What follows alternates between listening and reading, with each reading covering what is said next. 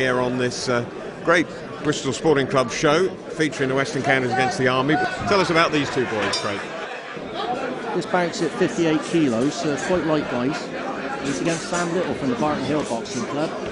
He's uh, boxing there from the southpaw stance. And uh, both lads southpaw there, Nigel notice. Uh, usually doesn't make for too much of a tidy bout, but good shot selection already from both guys. Why would that be, though, Craig, if it doesn't make uh, a, a great bout? Because they're just the opposite of what they normally are, so it's not like feet are going to get in the way or anything, is it? That's right, but they're kind of they mirror each other, Nigel. And the front foot's trying to each trying to cancel the other one's front foot out, and uh, you know generally it ends up in a bit of a mess. Great front hook there from uh, Josh Frayne, but Sam Little coming back with a good counter. It's quite a tidy bout, Nigel, so far. Certainly is. Well, we know the Army always put up fantastic opposition in these uh, matches over the years. Uh, it's only in recent years, really, the Western Counties have had a little bit more success, haven't they? And uh, we hope, hope for the same today, being a little bit biased on this occasion. That's right. We've got the Army uh, development team, and uh, we've got a full con- uh, full card this evening, ten bouts. That's largely due to James Allen, who's head of the uh, Army development team, and as I say, the quality is still very much there, but they're not full-time athletes like the first team are. Okay, well that's interesting to know. So uh, potentially we could be seeing some of these uh, army boxers here on, uh, on the Sporting Club show for several years to come. Very much so, and as we all know, the army, well, they do okay boxing, don't they? Reasonably, yeah. That's right. it's their job to be fit, and I'd say the first team are more or less full time. Uh, they're seconded from their duties. It's a strong finish there from Sam Little. This is three twos. Both guys fairly novice at the moment, but uh, all action first round. Certainly was. Sam Little from Barton Hill then uh, doing himself proud in this elite lightweight contest. And uh, of course, Barton Hill with a great tradition, great little club. And, uh, and it's, we shouldn't underestimate the importance to the local clubs in the, in the Western Counties for having a representative on this team it's absolutely fantastic. You know, it's everyone's uh, first aspiration in boxing to represent the region. And from the region, hopefully, you go on to box your uh, you know, for your country and then GB. It's the first starting point, and uh, Sam will be double pleased tonight to box in the Western Counties Best and represent uh, represent his region in front of his home crowd. Yeah, and and what do you think it means for the Army man Josh Frayne? Uh, is uh, just being in front of a crowd like this, I suppose, is is different from what he would normally expect. Well, you can see the look on Josh's face. He's just pleased to be here. You know, they love to compete, don't they? They really do.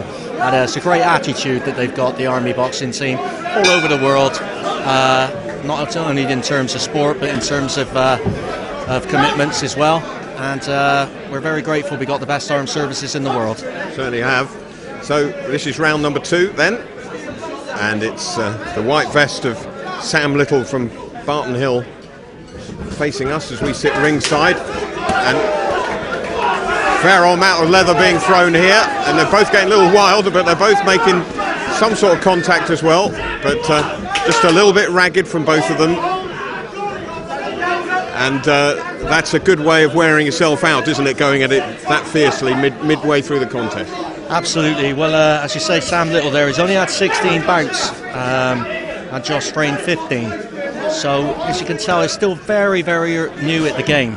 But um, as I say, great work rate. Nice, superbly fit guys. A lot of round arm punches, swings coming in, and the referee just stepping in just to tidy it up a little bit, and instructs them to box, which they certainly will. So uh, Josh Frayne from the army, just trying to get the range, lands that left hand, but. Uh, Sam Little steps inside. I don't know whether the bam on his shorts is a description of some of the shots he lands or whether it's a relation or just a nickname for him. What do you know, Craig? Uh, bam Little. I believe front to, of his shorts. Yeah. To be honest with you, it's uh, some sort of typo, I would imagine. But uh, having said that, let's go with the fact it's the shots that he throws. I was thinking like a cartoon, bam right. or let's, thwack. Let's, let's think positively. Absolutely. Um, but uh, strong finish from the uh, from the soldier. Yeah, again, we, we, say this over the years, don't we? But uh, you'd think that army fitness might tell, even if they're not the uh, the army first team. They obviously very physically fit just in the day job, aren't they? Hugely. Uh, 24 rifles, usually first in theatre, front line And uh, great first round there. You can tell the 3 2's pace, Nige. Yeah. Very, very fast indeed. And uh, the majority of our contests this evening are 3 3s. But uh, lively, good to watch. I'm leaning towards the soldier in that first round. That was the second round, Beg your pardon? I think, wasn't it? Do you know, I don't know anymore. We were so quick off the mark this evening. Yeah, I'm not yeah, sure. yeah, But uh, in any event, quality round. Certainly was. And uh, for those of you watching this coverage, you'll see in the far side over the uh, the top table that uh, there's Pat Lam, the uh, head coach of Bristol Rugby, is the sporting guest of the night, together with uh, various top brass from the army. So, uh, it's, and there are a number of other Bristol Rugby uh, figures in the in the room as well. Chris Booy, the chairman, is here. Mark Tainton, the chief operating officer. The rugby club, uh, big supporters of of uh, the sporting club. That's right. And what a big guy that is. He's a big unit, that. But uh, alongside Chris Roberts, who's the highest ranking ABA official in the British Army's international referee. So here we go with the third round. Yep, and who's can uh, catch the uh, the judges' eyes in this final round? Certainly no lack of intent from Little, but he's getting picked off a little bit by Josh Frayne for the army. Up on his toes, looking for the opportunities. Little trying to get forward, getting caught on the way in. Some good movement by Frayne turning away from the, the ropes and getting back into the middle of the ring and then picks his man off again as he comes in. So he's doing very nicely, moving very very sharply and sweetly on his uh, up on his toes, isn't he? That's right. Really good angles there. Good shot selection from the soldier. It's going to come down to the fitness, I think. Nige is uh, he's gone through the gears. Is uh, Josh Frayne, and uh, I think it's just a little bit too faster pace for Sam.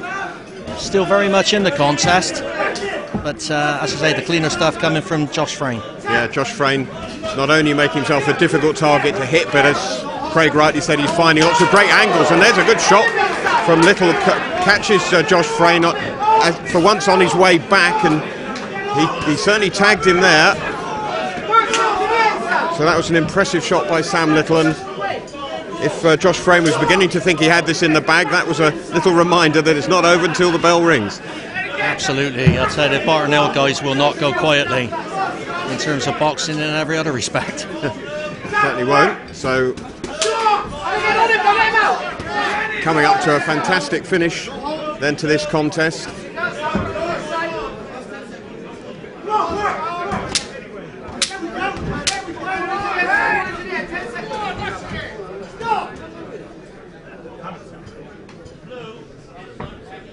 Can't be too much longer left, and in fact, there it is. There is the bell to end the first contest. As competitive as you might have expected and hoped for, and uh, applause from the uh, packed house here at the Bristol Hotel. Sam Little against Josh Frayne, and we'll have to wait and see what the judges thought of that one.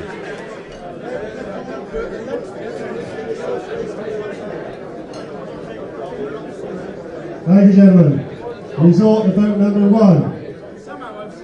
The unanimous decision to Frayne in the blue corner.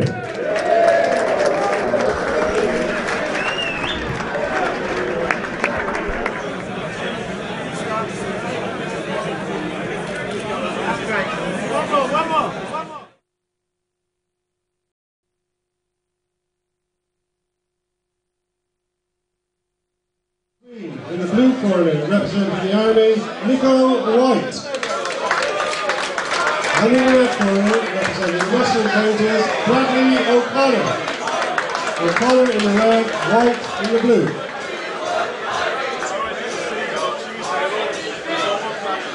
So this the second bout of the match between the Western Counties and the Army here at the Bristol Hotel. 2017. Where's another year gone? I'm not quite sure. And this is Nico White from the Army in the uh, black vest against Bradley O'Connor from Intense ABC in the white vest for the Western Counties. Craig Turner alongside me again, and uh, this looks once more like an extremely well matched contest, which I know you know a bit about it because I think you matched this one, didn't you? I did, yeah. I matched this show this evening, and it was uh, absolute pleasure doing business with the Army Development Team. They're just fantastic. The commitment that they got to the sport. Um, this is a light welterweight contest, 62 kilos, and uh, quite stocky kid, strong looking, Nigel, aren't they? Yeah. That weight, yeah. Um, shot selection there from the guys. Favouring close range at this early stage. Uh, more of a thinking about this one, Nige. Okay. So, uh, what will Bradley O'Connor have to think about after the first round? He's sussing out the, the Army man, Nico White. Some powerful uh, shots coming in from to, from the uh, the Army guy, but uh, taken on the arms by O'Connor. Again, both trying to land body shots at the moment. A big swing and miss there. Brought an ooh out of the audience certainly uh, some punishing body shots from both men coming in here.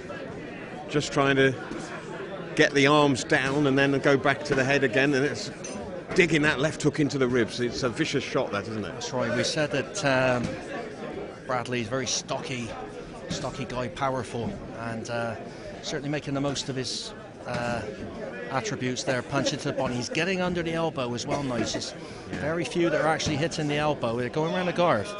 And uh, Marley down and his team down in Intense in Plymouth. Uh, they, they produce some damn good kids. And uh, Bradley O'Connor, no exception. However, early days, and uh, soldiers are used to taking, uh, going through adversity Yeah. and still conquering. Well, So, he's taken about half a dozen really tough body shots there, hasn't he? That left hook into the ribs. So it's the core, the core fitness, the core strength coming to the fore there for the army guy. Uh, they were both they were both going downstairs. Is, is it just me, Craig? Maybe I know I'm getting old and everything, but.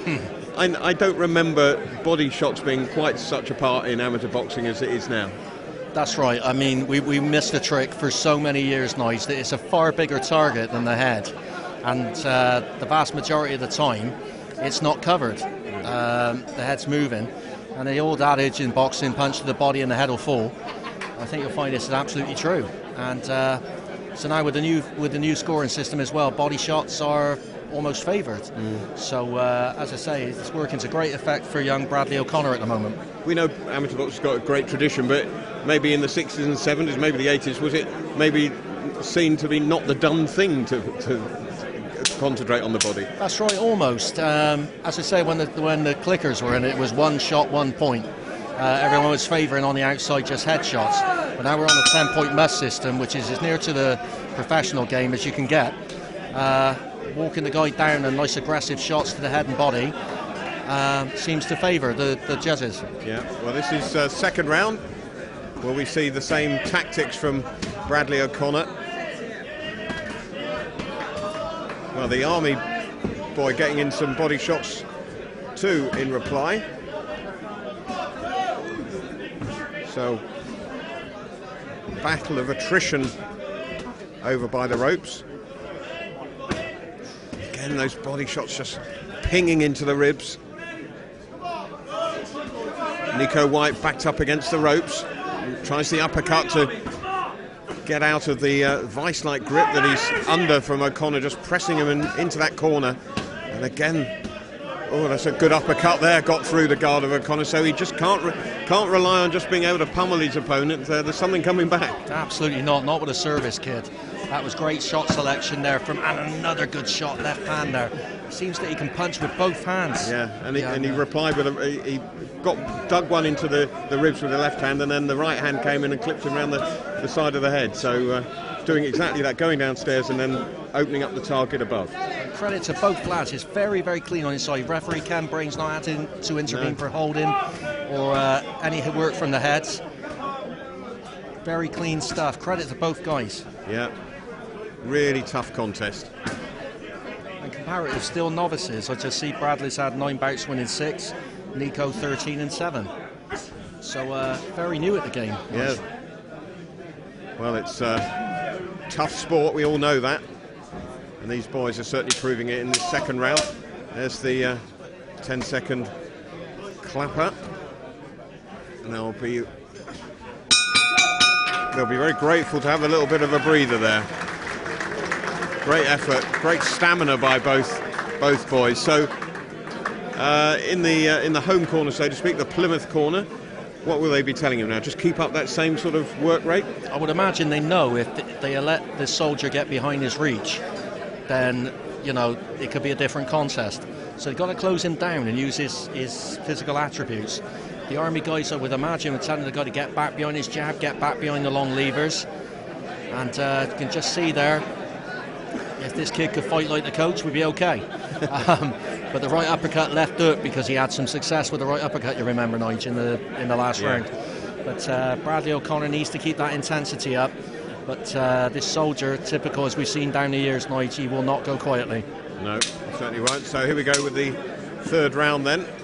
Ken Brain holds the boxes apart until the bell goes. There's the bell to start the final round. So what will the Army come back with in this final round. You fancy O'Connor's maybe uh, in front at the moment, but you don't quite know. So O'Connor with the right hand there, having some success. Of course, he's sewn it into the uh, he's sewn it into the consciousness of Nico White to expect the the left hook to the ribs, and then he's surprised when something else comes from a different angle. That's playing with his with his mind as much as his body at the moment. Uh, Bradley O'Connor switching it around a little bit, not being predictable all the time, still landing sufficient left hooks, but when uh, his opponent thinks it's going to be a left hook, he comes up with something else. That's right. As I say, he switches the attack nice, doesn't he? I mean, you get you got a left hook the body, left hook to the head, and equally the other side. Oh, that's a good shot there. Left hook from the soldier. Can never count them out, can you? And a good right hand as well. Bradley doing the smart thing, walking him down, not giving him any room to punch. But when he does get the room, he lands, doesn't he? He does very much so. It's a great effort, effort from Nico now. Knows he's up against it, so he answers the call. Yep. So O'Connor then walking him, this man down again, getting him over into that neutral corner, and uh, White trying to fight his way out of it. Great effort by both boys, and O'Connor's just regained his equilibrium a bit, but then walks onto one. That's right, superb effort from Nico here, getting through some quality shots. Bradley won't be denied. He's walking forward, keeping doing. You know, oh, good shot, left hook. Apologies for excitement there. well, it's it is exciting. You're absolutely excused, and and now uh, the uh, Army boxer Nico White giving some back as, as well. He's stood up to the pummeling he's taken brilliantly, and he now he's finishing off strongly, landing shots of his own. And there's the bell to end a fantastic contest. They hug one another, and they could quite easily, I think, just stand and hold on to one another just to keep standing because they put so much effort in. And a lovely acknowledgement there to Ken Brain uh, from Brad. He threw a low shot, he acknowledged it, and uh, you know, tremendously sorry for that. Uh, good hug at the end, and as always at Bristol Sporting Club, some tremendous sportsmanship. Yeah, certainly was. So, once again, the uh, judges have a slight conundrum. We'll wait and see what they decided.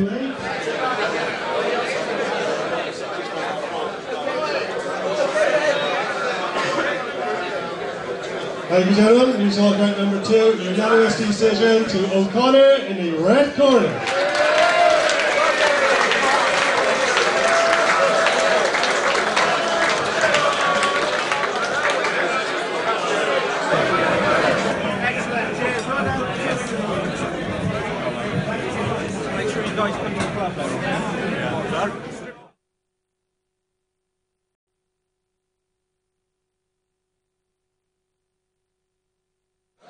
and gentlemen. Bout number three has been sponsored by Regal Amusements on table two and Harding Retail on table 15. It's a light welter contest of three three-minute rounds between, in the blue corner, representing the Army, Ross Buckenbridge.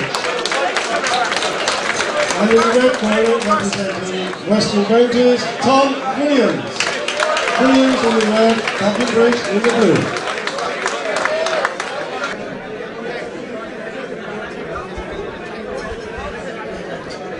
So another light welterweight contest to entertain us here between Ross Brackenbridge from the Army and Tom Williams from Downend here in Bristol. Uh, Craig, as ever, will declare an interest in uh, Tom Williams, but uh, I know he's an extremely promising boxer. What do you know about his opponent, first of all? Well, Ross Brackenridge, he's uh, with the Scots Dragoon Guards, yeah, very old famous regiment knight, and uh, 28 years of age. Tom Williams there, he's been out of the ring now for about 18 months, Tom, because he uh, went to college to train as an electrical fitter. But uh, boxed some really good lads as a junior. Archie Sharp, who's just gone professional, uh, amongst others. The statistics here, nice 42 and 119 from Tom, and 2110 from Ross. So did Tom take a, a, break from boxing because he was just so busy with his training? Was that uh, for his work? Was that the reason? That's right, absolutely. Uh, did the right thing. Priorities, of course, because boxing's okay, but the money's rubbish. so, um, so uh, Tom's uh, done the right thing, got his priorities right, and some nice shot selection there from him. Very good defensive boxer is Tom, but when he holds his feet, he comes undone. You can't hold your feet in front of a soldier because they're big punchers, strong, fit, as you'd expect them to be. Okay. So, what sort of level of, op- of, opposition has he faced before? Is this going to be one of his toughest bouts so far? I would say so. Uh, Tom's only had one other senior contest, and that was against uh, uh, uh Royal Air Force opponent. Oh yeah. Um, and he was stopped in the third round. It was a boy against the man, really, because uh, everyone's got different developmental uh, period. Uh, Nige and uh, young lads called uh, Kieran Bailey from the Air Force. And uh, superb contest, but unfortunately Tom ran out of steam there, very new at three threes. Okay, well it'll be interesting to see how he fares in this one then. It's uh, developing into a nice little uh, battle between the two of them, just still sizing one another up in this first round.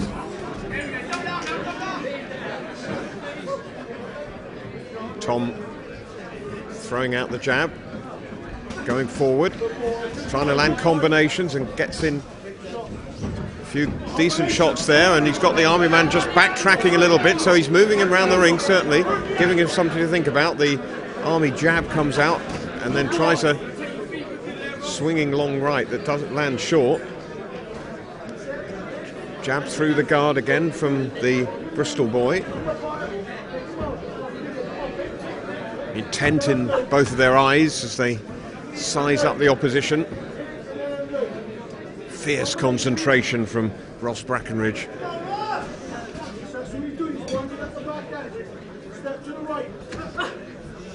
Very skillful about Nige. Uh, good shot selection. You can tell it's absolute intense concentration on both guys' faces, as you yeah. said. And uh, clever stuff there from Tom. That's the extra experience. Tom's yeah. just undergone some extra strength and conditioning training with uh, Trojan Fitness, I believe, here in Bristol. Okay. And he tapped me playfully in the belly the other night and uh, nearly sat me down. really? So, uh, yes. If I'd have fell on him, he would have been trouble. yeah, well, that was an interesting first round, though, as you say. A lot of thought going into it, a little bit more tactical than the first two bouts we've seen so far this evening, but uh, Tom Williams certainly acquitted himself uh, pretty well in that uh, first three minutes against Ross Brackenbridge from the Army. The uh, Downend boy deciding to stand up. Simon Pirrett giving him some words of advice. Wise ones, I'm sure. Absolutely. he had a good coach. I think Simon's actually telling him how he how he won his bout about 25 years ago or something. A veteran's bout, obviously, at that age. That's right. He should have been about 40 then, I would imagine. but uh, Grania Quinn just helping out there. Should have special mention to Grania uh, in the height of the troubles, her dad started the Ardoyne Boxing Club in Northern Ireland, and they brought that community together. Absolutely fabulous, Catholic, Protestant, brought them together, and they're still going today. I'm proud to say. We're very proud to have Grania with us. Oh, well done to her and her family. That's excellent. So, second round then between Tom Williams for the Western Counties in the white vest and Ross Brackenbridge for the Army in the black It's pretty even the first round, a little bit cagey, lots of concentration, learning process for both boys. And Tom Williams lands a couple of decent punches there. For the first time, a little bit on the back foot now as uh, the Army boy Brackenridge launches an attack.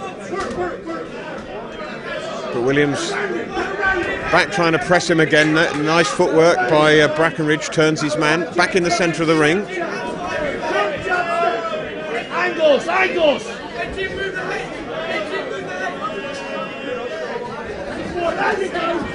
So both unleashing a little bit more in the uh, centre of the ring. A little mark under the right eye of uh, Brackenridge by the look of it. A good solid right hand there from Williams gets through.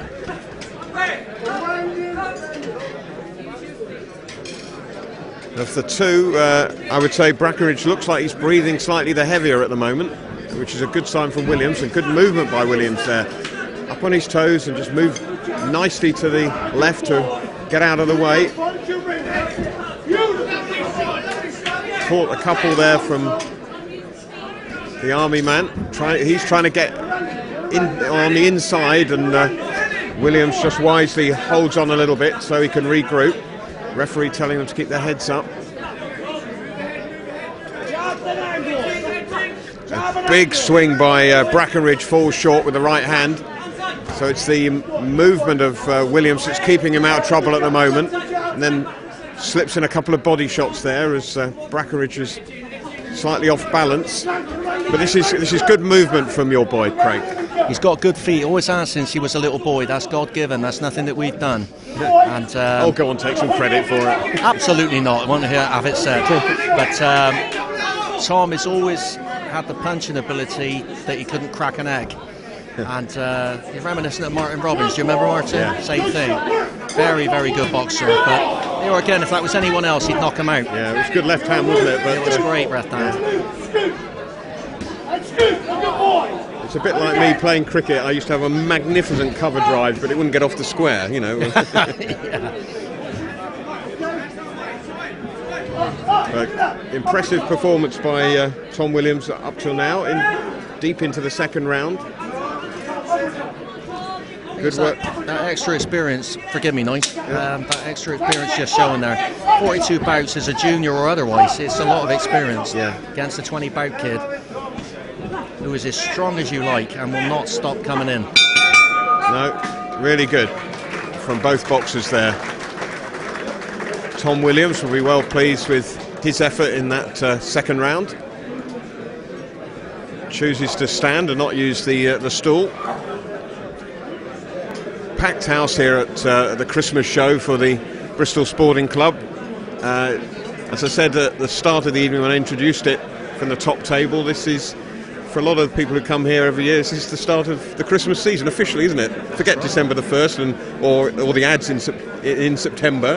Um, the, the Bristol Sporting Club against uh, show with the army, the visitors, uh, always heralds the festive season. That's right. It started the celebrations for uh, ladies and gentlemen here at the uh, Sporting Club. And uh, as you say, I, th- I think John Thornell, who's uh, president these days, telling me earlier on it's nearly 250 people here. So uh, that's great. Great news for Western Counties boxing.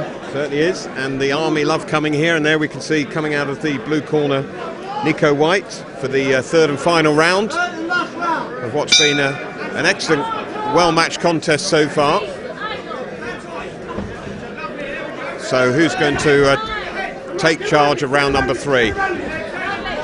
Williams part wrestles his man round off balance.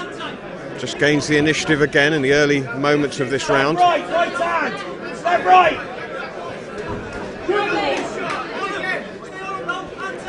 So the jab coming in from Nico White.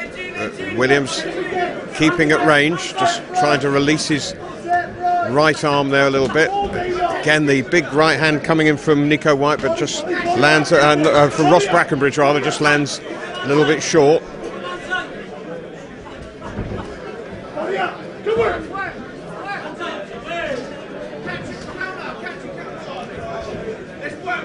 Busy work rate by Williams. Getting in some good shots, as Craig says, maybe not the power that he would wish for. Good little uppercut as the two break. And he's just manoeuvring his man round the ring quite nicely at the moment. It's, it's definitely Williams who's dictating the pace of the contest. Just great shot selection from Tom, and as I said, it's God given.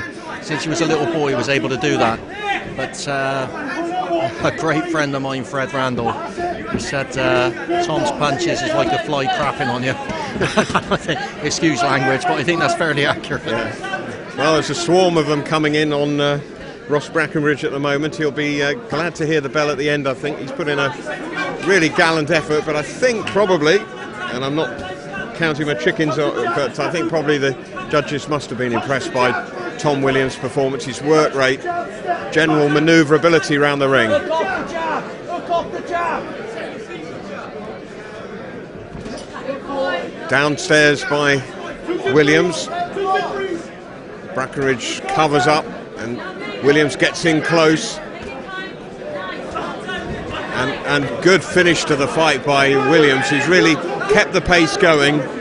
While maybe Brackenridge is tired just a little bit, it's Williams who's, as I say, dictated the pace. Well, that's a good body shot by the Army boy.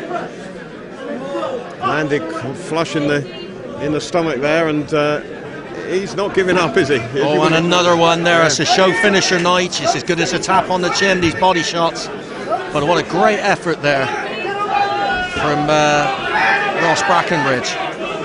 Maybe Tom if he'd done really does sooner. need to move now. He really does. You can't hang your chin out in front of an army guy. No. Yeah, so maybe if had managed this a little bit earlier in the contest, it might have been different. There's 10 seconds to go on. It's a great right hand lands right on the point of the chin, but Brackenridge takes it and then holds on. And that's just about going to be the last of the action, I suspect. The bell will go any moment now. There it is. And again, well done to both boxers. Fantastic effort. They both wanted it badly, and uh, I think we all appreciated the effort. That was absolutely fantastic contest. Free freeze, lots to watch, something for everybody there, Nige. Bit of a punch up, some nice long range boxing, some good defensive stuff. Credit to both lads. Just goes to show it doesn't need to be blood and guts to be exciting, does it? No, but this is the thing. It's a miss up. Uh, anyone who thinks boxing isn't a thinking man's game is going around it the wrong way. Yeah. Well, let's see, talking of thinking, what the judges thought of that one. Ladies and gentlemen, the winner of bout number three, the unanimous decision is Williams in the red corner.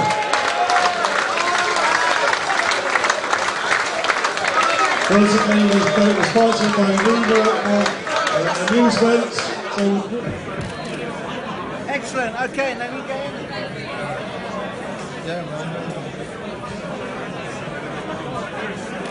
Brilliant. Thank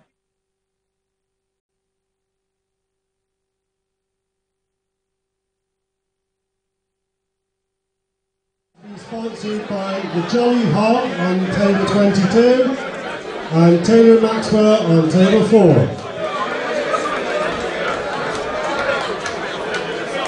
There's a middleweight contest of three three-minute rounds between, in the blue corner, representing the Army, John Heswick. And in the red corner, representing the Western Counties, Jordan Giles. Giles in the red, Heswick in the blue.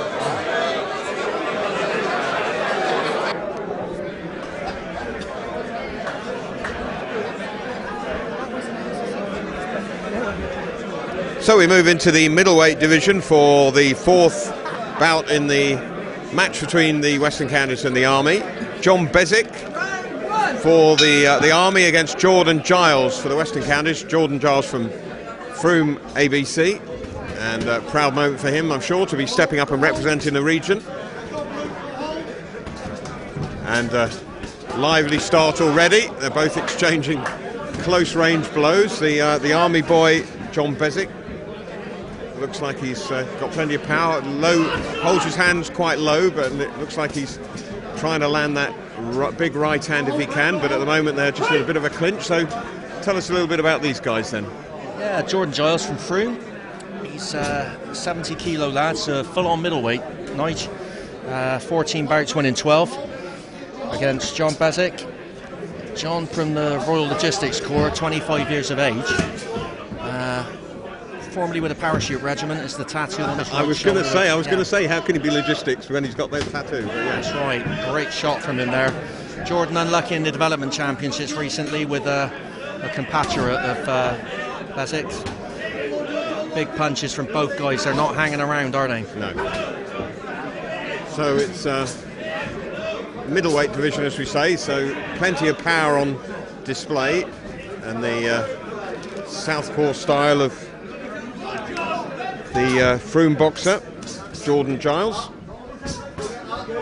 Again, getting in a clinch close on the referee having to having a call break. Just a little bit untidy at the moment. The slight clash of styles between the two of them.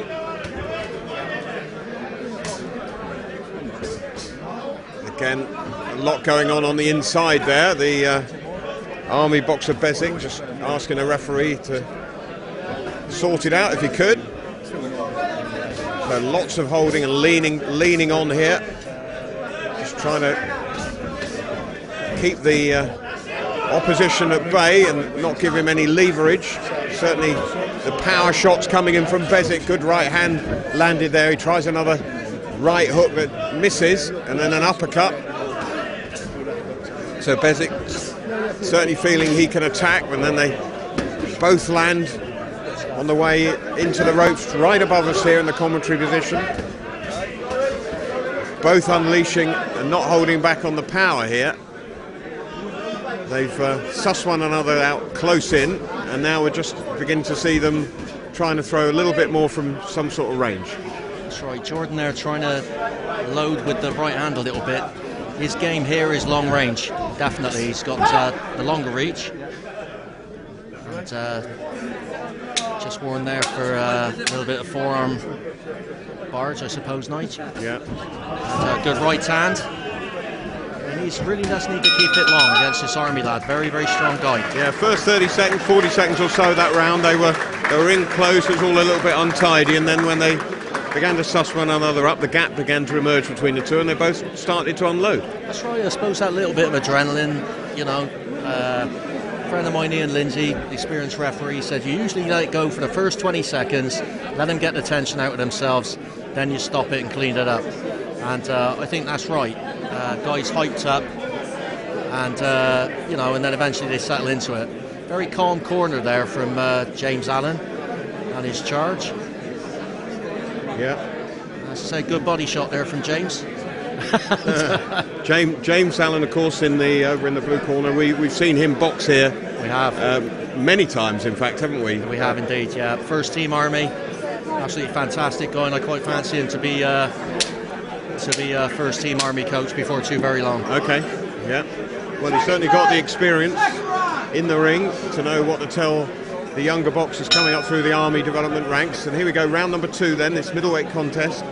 It's uh, Jordan Giles of Frome in the white vest for the Western Counties, John Bessick in the black vest for the army. And if it develops the uh, same way it did in that first round, then we'll see Bezic looking to land that big right hand if he can. And the uh, Frome boxer trying to get that left jab out. Just a little bit of a range finder.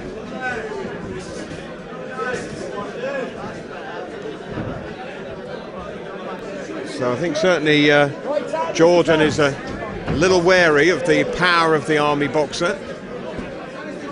And Bezic not afraid to step inside and land shorter range shots if he can.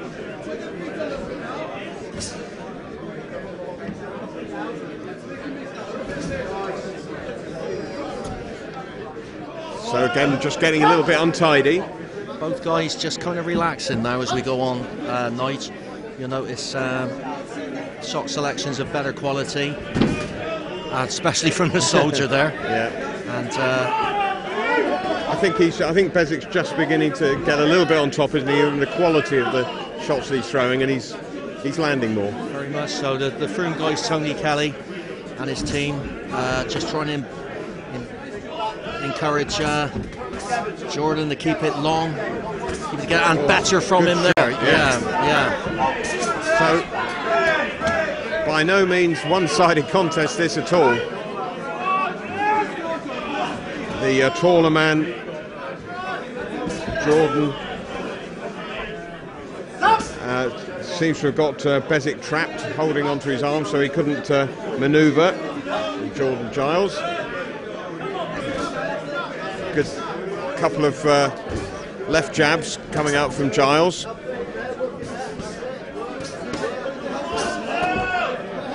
And again, just getting into that clinch on the inside. Both breathing really hard as you'd expect.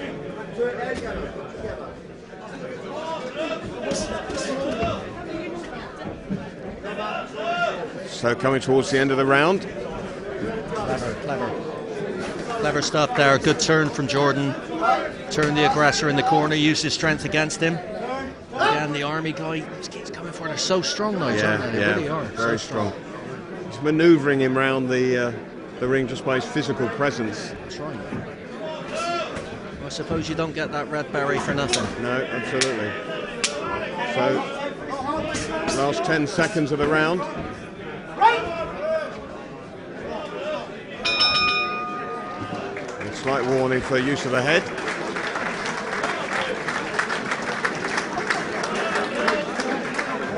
Some appreciative applause from the uh, the diners here at the Bristol Sporting Club.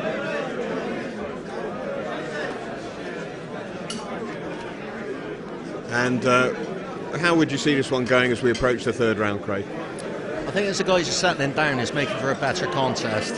Um, think the soldier has got the better of the work in the moment, Nige, for my money. Yeah. Uh, what say you? Yeah, I'd, I'd absolutely agree. Yeah, Yeah, yeah. Just, Uh, just working his man, his opponent around the ring, isn't he? Landing the better shots. Yeah, Nothing to do with work rate as such, but he's just picking his shots maybe better. I think. that's right. Yeah, and I think um, again it, it, it's all down to to stamina. Uh, Jordan, by no means out of the contest whatsoever. When he gets back to long range, he's untouchable. But uh, he tends to buy into the fight a little bit Yeah. so far. But tactical change uh, from the corner this round, but it's still anybody's. Yeah. So let's see what happens in the uh, the final minutes of the contest.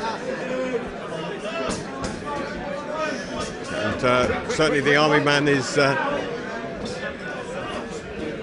just landing those shorter shots. But that's good work by Giles. Traps him in the corner and landed a couple, which uh, was not part of uh, Bezik's plan.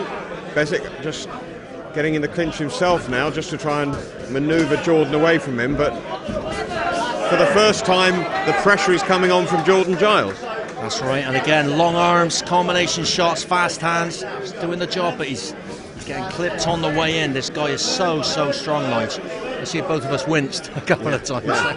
Well, his right hand is very, very powerful, isn't it? He, he's he's missed with it a couple of times, but he's also landed as well. Incredibly. And, and it gives Jordan Giles plenty to think and worry about as he as he heads in. And as you say, he's been getting picked off by that particular shot. Such a good distance boxer, is Jordan. But uh, again, let's look at the stats here 14 bouts, winning 12 from uh, Jordan, 25 and 17 from John. John, the most uh, more experienced guy. But when he's got it long range, and when you're watching this back, Jordan, when it's long range and fast hands, had uh, very little to do then, didn't he? Yeah. So again, it's all the effort being poured into this one.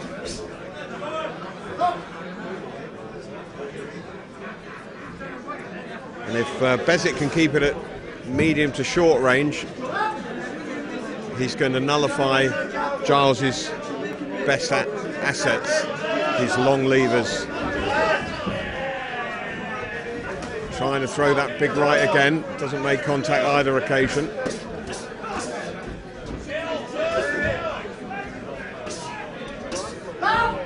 And again, just getting a little tidy, uh, being warned for punching to the back of the head when they were in a clinch.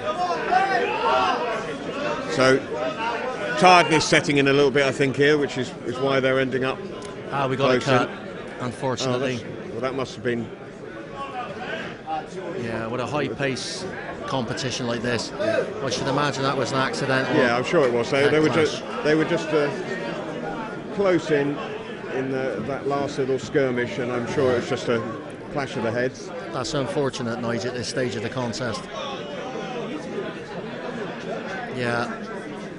Unintentional. There we go from the referee there. said, yeah. That's a fair comment. Yeah, definitely. He's probably only got a minute or so to survive anyway. Don't think it's going to get too much worse. Oh, and he lands.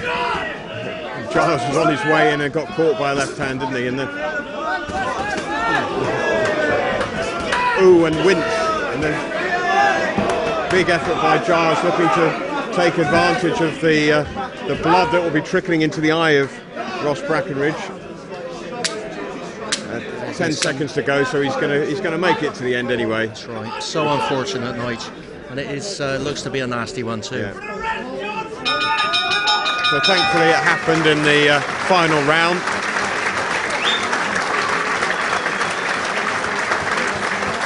Once more, appreciative applause from the uh, the diners here as the doctor has a look at the army boxer and just make sure that the uh, damage isn't too severe. Might need a stitch or two in it, but uh, we'll wait and see what the uh, judge's final decision on this one was.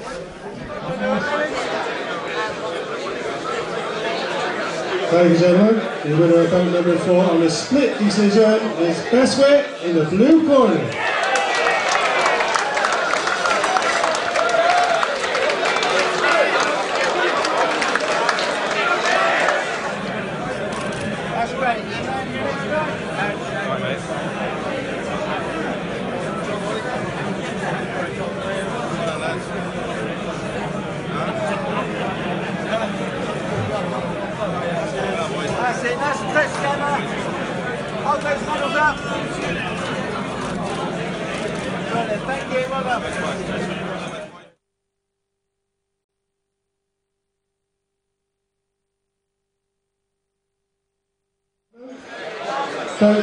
25 is being sponsored by Note and Clark on table 25.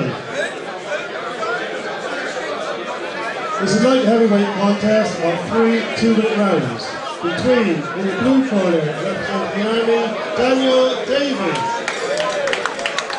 And in the red corner, representing Western Ranges, Christian Wagner. Wagner in the red, Davy in the blue. And referee Ken Brain gets us underway then. For this, the fifth bout, then light heavyweights. Christian Wagner against Daniel Devey and Craig Turner alongside me. Tell us all you know about these. Yeah, Chris Wagner from Devizes. Uh, two contests, one in two. My God, that was a strong right hand there from a far stockier looking uh, Daniel Devi. Uh, 713 and Devi, so a comparative novice. This guy is 32 years of age, 32 uh, engineers. And as you can see, this uh, difference, both of them in uh, similar weights, Nige, but a difference in height there. It's extraordinary, isn't it, really? It is, yeah. But uh, certainly the army man looks like he's the one with the power at the moment, doesn't he? Very much so. If uh, Chris can keep it behind his jab, keep it nice and long, and of course the soldier will be looking to get past his arms. Fancy a big right hand over the top, left hook. Commentator's eye. Could, uh, do the job. But good stuff there. Sticking to uh, Jack Fisher's uh, commands in the corner there from Devizes. But the right hand still threatens Nige. Yeah. So good shots by uh, Devey for the army.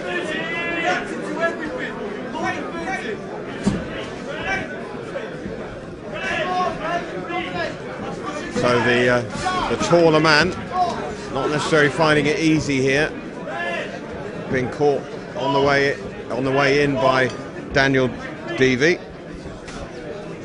So Wagner trying to use his long arms to keep him at bay and to land some of his own, but Devey intent on getting in and landing some power shots from close range. 10 seconds to go in the round. Ken Brain calls break, but uh, Devey intent on pressing his man up against the ropes he can, and there is the bell to end that round. So, as a uh, physical spectacle, it, uh, you wouldn't think they were necessarily in the same weight division, but uh, You wouldn't. It's um, it's bizarre, isn't it, Nige? But you can tell, obviously, the the long limbs of um, Chris Wagner against the squatness and uh, chest of, uh, Dan Davey. He's, he's a very solid-looking character, isn't he? I, all I can think is Chris Wagner must have very heavy bones. That's right, bones. entirely. But uh, both guys having success in that round. Some power stuff. It's short to mid uh, mid range from uh, from Davey, and some good long stuff from uh, Chris Wagner. I say Chris two out of two. Uh, it all depends what sort of obviously class you box in, Nige, and uh, where you've had those contests as well. You know, this is an entirely sta- uh, different level to what Chris would have been used to. So, uh, as I say, but all to play for, I'd suggest. Yeah, you have to step up in class sometimes, don't you? And that's maybe what Christian Wagner is doing here today. And I believe I am correct in saying Wagner, not Wagner. We're not posh round here, are we? I'm sure it is Wagner. Uh, so we can compose a win.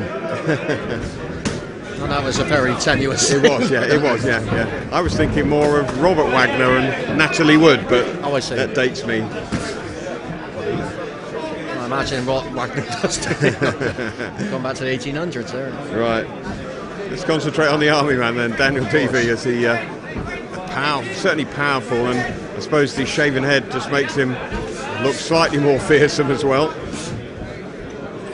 But the most fearsome thing about him at the moment is his, are his fists as he covers up nicely there and takes those shots on his gloves.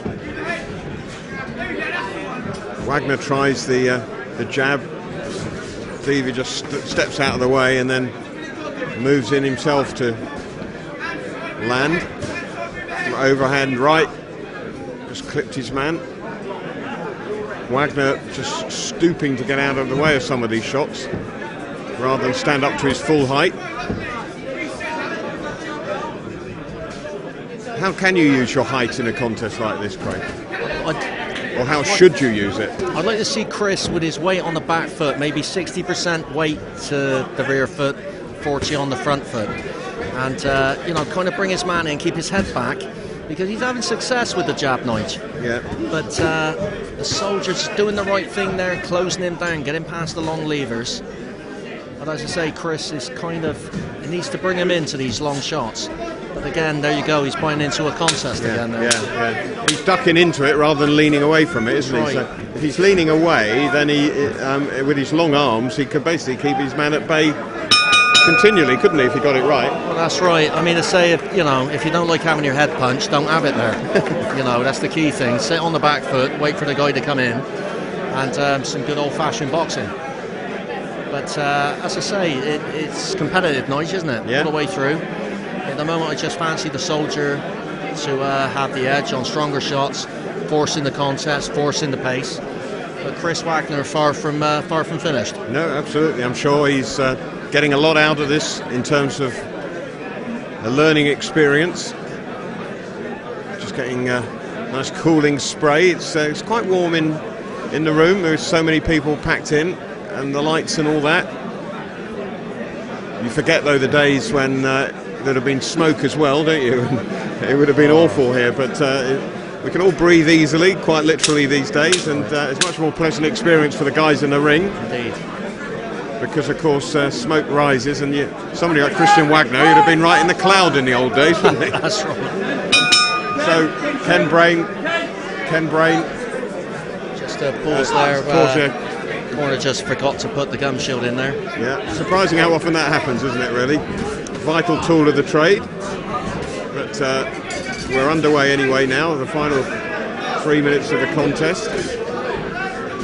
Power again coming in from D- Davey but I think yes Ken Brain pulling him up for slapping telling him to use the fist. And I think the same thing happened straight away again but never mind. Um, so Wagner now I think it's just a concern whether it's a slap or a punch. To be honest, it's uh, whatever it is. It's coming in with power. It's that round arm style of uh, Davey that's uh, trying to get round the the guard of the Devizes man. Trying the uppercut is Wagner. He stood up to the test well as Christian Wagner. The, uh, try, trying to use that uppercut a lot more than he was in the uh, first two rounds. He's got him more at the range he wants, hasn't he, at the moment? Uh, although now suddenly Deavy then steps in and closes the gap. But just for just for a, a moment, Wagner had got him at uh, at arm's length, so to speak. That's right. He found his range now, didn't he? And the uh, long range uppercut. There's a good good shot there from him. And uh, all of a sudden, the soldier is tiring a bit, down. He is tiring, yeah. And Chris Wagner has found his stride almost, hasn't Yeah. Maybe Wagner's paced himself a bit better. I don't know. Maybe. The army man was certainly unleashing for the first two rounds consistently. Yeah, warning about the heads. We saw what happened in the last bout with accidental clash of heads, but still very competitive. Last 10 seconds, big finish required. Again, the uppercut from uh, Wagner has been a useful weapon in this round. Perhaps you might feel he should have used it more earlier in the contest. And there is the bell to end it.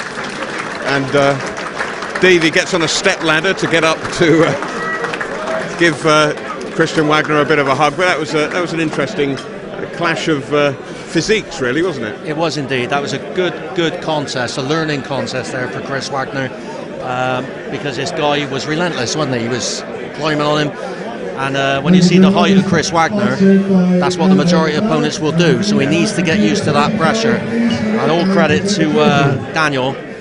He uh, he wasn't going anywhere in a hurry, was he? You know, he stepped on the guy and really working. The overhand right was working, left hook. See what the judge is like. Absolutely. Let's wait and see.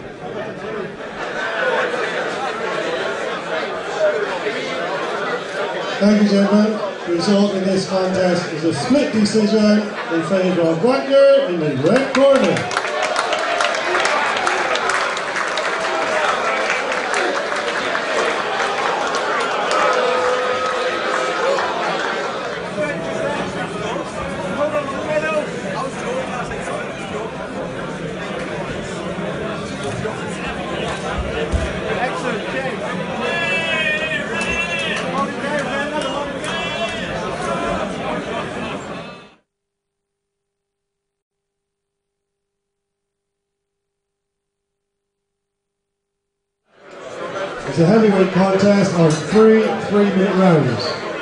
Between, in the blue corner, representing the Army, Leon Nyhell.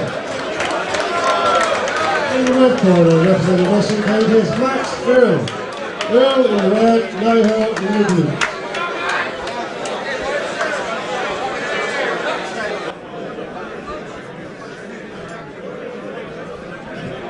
So we're moving up to the heavyweights for our sixth bout of the uh, the night here between the Army and the Western Counties. Max Earl from Mayflower taking on Leon Nihill for the Army.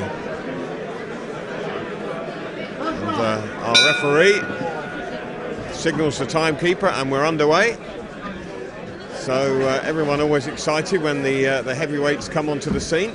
Let's see uh, what they have in store for us this evening. Craig alongside me uh, will give us a brief update of what he knows about these two. That's right, Max Earl, 82 kilograms from uh, Plymouth. Steve Garwin and Steve Clark in his corner now. And uh, Leon Nihill is from uh, the first uh, Prince of Wales Royal Regiment, 28 years of age, 17 contests winning 12, uh, Max 23 winning 13. So, army guy out of uh, the Southpaw stance. Interesting start, nice, very, very thoughtful. Yep. So let's see what uh, the home boxer, so to speak, from the Mayflower Club, Max Earl, can do, representing the Western Counties. Good left to the chin, gets through there nicely. Nihill standing centre of the ring, range finder with that left arm, and then left hook connects, parried by the gloves of Max Earl.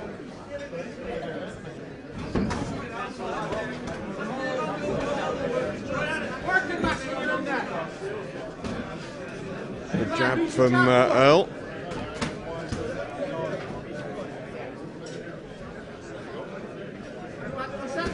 Still sizing one another up at the moment. Earl trying the uh, jab and then the right hand to follow up, but lands short with both.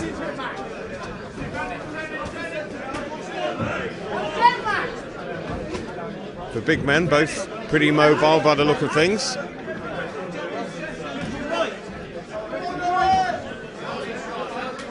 Lots of movement, not a huge amount being landed at the moment, Craig. That's what I was going to say. It's a very fast pace and very mobile for uh, large guys, isn't it, Nigel? Yeah. And um, as I say, uh, it's, a, it's a good thing that Max is using his feet because you get this, you get the sense that if he held his feet, uh, the army guy would put his head on Mars. Very strong guys. So, first round coming towards the, the end, about 30 seconds remaining.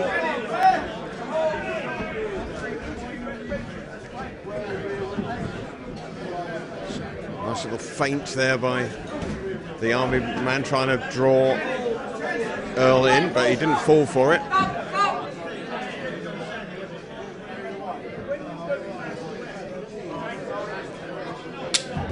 Ten seconds remaining.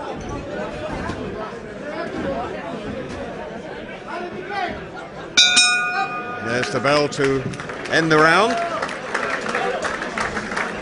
And we uh, take a look at the army boxer, Leon Nihill.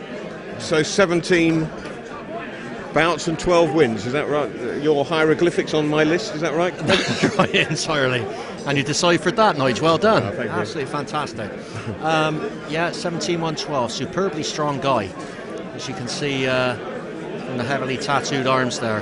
He's a thick set young fella. And uh, Max Earl from Mayflower. Fancy that a little bit leaner, as we've seen in the contest before. Different body shapes. yeah. and uh, still very much the same weight. Uh, Soldier had some success there with some uh, strong shots. Equally, Max does what he does well long shots, boxing. And uh, fancy first round maybe to the Soldier, but uh, going into the second round, it's anybody still. Yeah.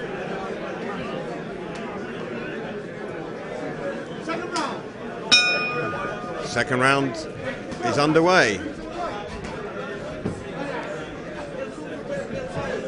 Max Earl from Mayflower in the white vest, looking to uh, lay some leather on Leon Nihill, his army opponent.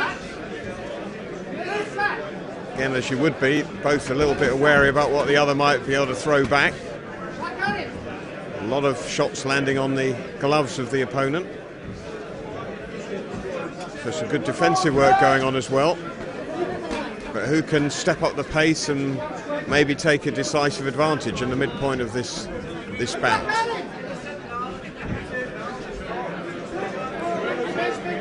Great concentration from uh, from Earl. I think you know he knows that he's really got to be switched on the whole time because if he uh, if he isn't, then the army man has the uh, the weapons, the attributes to really punish him.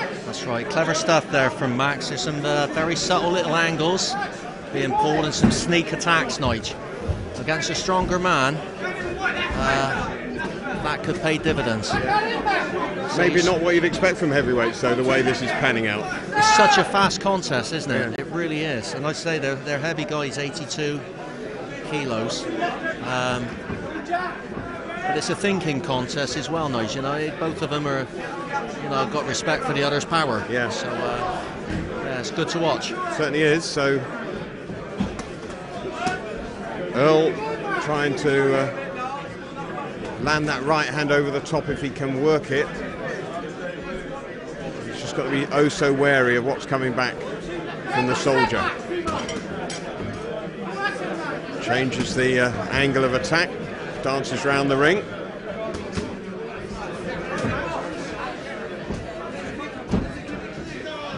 So Earl not afraid to come forward and just making his man miss when he can. Nihill also good body movement there. And he lands a left hook and then follows up with a right, but partly parried by the gloves of Earl.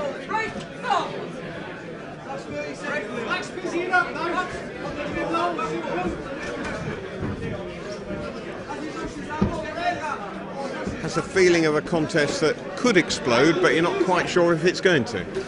That's right. There's some heavier shots there from the soldier uh, in the last couple of seconds there, Nige. But equally, as again, both wary, and that's quite healthy to be wary of an 81 year, 81 kilo boy trying to whack you. Um, that's a good right hand there from Max. Yeah. As again, those sneak attacks are having some effect. Didn't have a lot of power behind it, did it? But it landed on the on the target area, that's for sure. And there's the bell to end round number two. And again, really, in that one, honours even. It's going to be difficult to split them on this one, I think. I'd imagine it would be nice, and that's a sign of a good contest. Um, the majority of uh, Olympic contests, you know, are won and lost on, on split decisions because both guys are good quality. Yeah. And that's exactly what's happening here. You know, defensively very sound. Um, good, good pace. I can't quite believe the pace for you know for heavyweight guys. No? No, it's Um, very quick. Max Earl looking in his corner there, just taking a bit of a, a gulp of drink, and then misses the bucket on the way out, but never mind. Um, but yeah, he's uh, he's not looking, not breathing too he- heavily considering the pace it's been for the first two rounds. So three minutes to go to settle this one between Max Earl from Mayflower for the Western Counties in the white vest and Leon Nihill from the Army in the uh, in the black.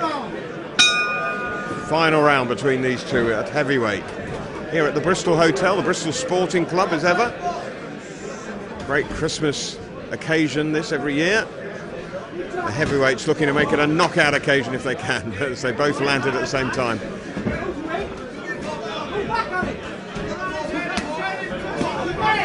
Uh, Nihill just caught Earl as he uh, retreated there. It's a single shot. Nobody's really managed to land combinations of punches yet, have they, Craig? It's been uh, it's been the odd single shot here and there. Some good corner work there from James Allen. Just telling him half a step to the right, half a step to the right, and he's used that to good effect a couple of times. A solid left landed on the chin of Earl there. If you were to look at uh, Nihill's back foot, occasionally he's taking it out with the left hook or the right hand. So he's responding well to the corner. That takes some composure, Nige. Oh, it turned him beautifully there. He's being, his left arm's being held. But uh, manages to untangle himself and without the referee needing to intervene.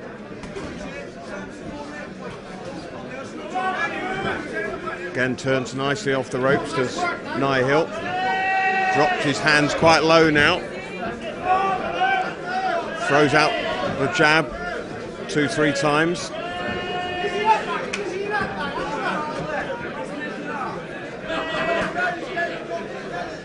If anything, Nihill's beginning to look a little frustrated that he's not having more success because he has, I think, dominated the contest really, but maybe not being able to really stamp his authority on it.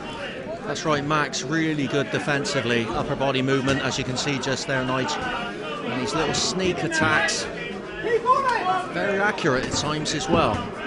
But just can't seem to hold the power at bay, can he? No.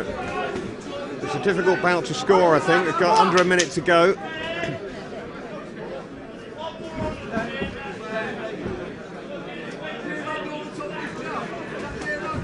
Nihill again, rocking his body from the waist, trying to get out of the way, swings twice, and uh, Earl ducks underneath it.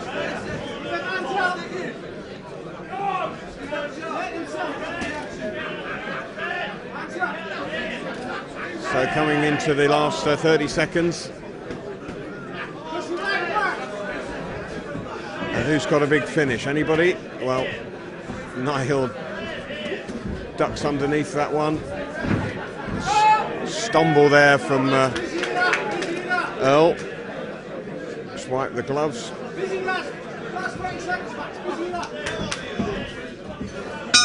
And there we go.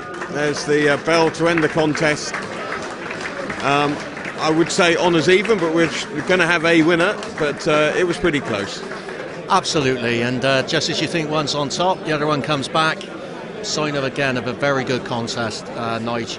and the Bristol Sporting Club audience absolutely lapping this up this evening. Yeah, certainly you are. So we'll wait and see what the judges thought of that.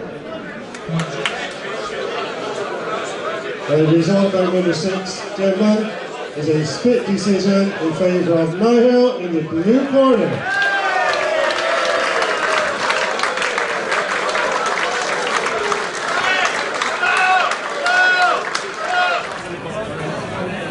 Excellent. There will now be a break in the boxing, gentlemen, while we have your auction. And what you're auctioning, I haven't got a clue.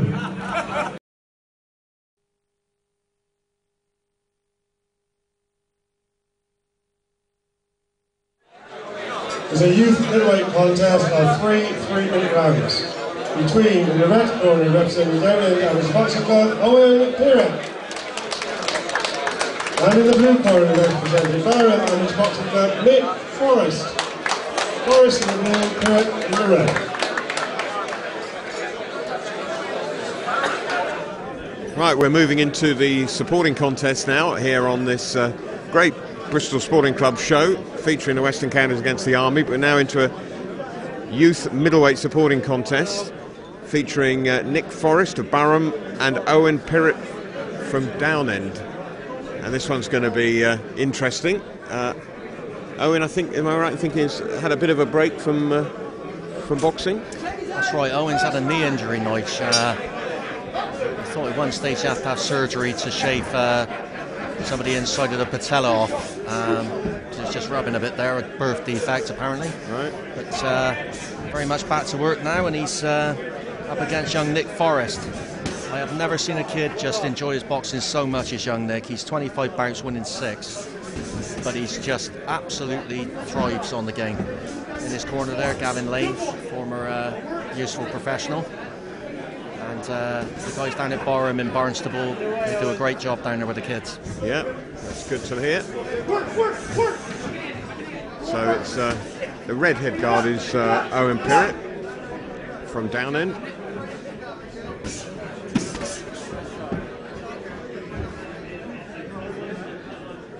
manoeuvring his way around the ring. Nick Forrest is uh, again just trying to size up. Just ducks down a little bit and sends out the left jab.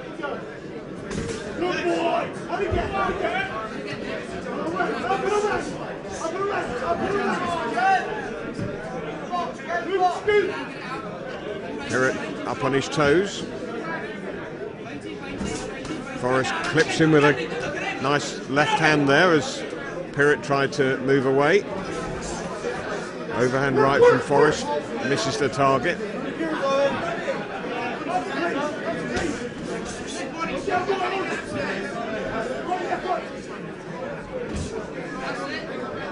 Again, Forrest just leaning forward to get the jab in, trying to get underneath the guard of Pirrett. Right hand over the jab. Over the. Big swinging right by Pirrett. Doesn't really make the contact he was looking for.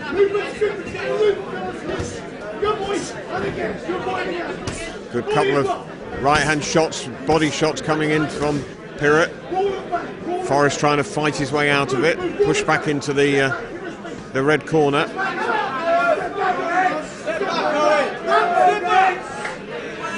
In the end, the referee forced to push them apart without too much of a break in the action.